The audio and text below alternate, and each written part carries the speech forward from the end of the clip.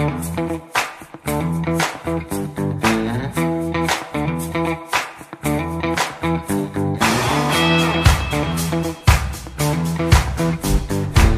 Yelyar, familim Rainbow.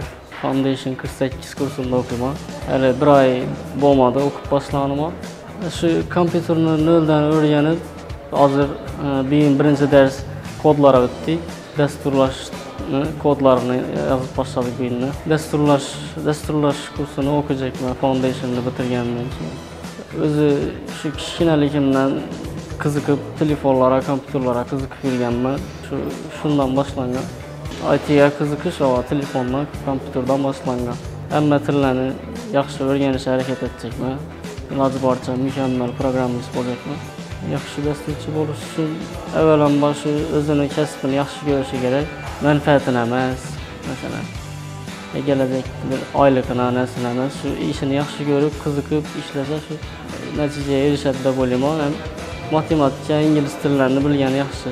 Mustaqil internetdan ko'pincha o'zimni ustimda ishlab turaman. Endi to'g'risini aytsam, o'zimda qiyinchilik bo'lmadi, nechun desa, qiziqib shu o'z ustimda shu uyda YouTube'da darslarni ko'rib qiziqib turibman. Ko'rib qiziqish bor hozir menda. Qiyinchilik ko'za ko'rsam men deb tushunishim.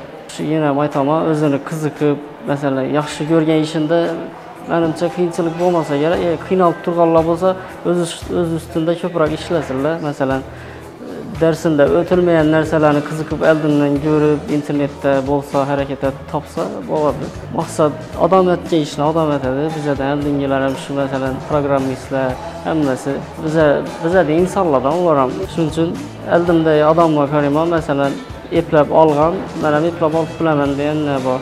Orqaga qaytish yo'q.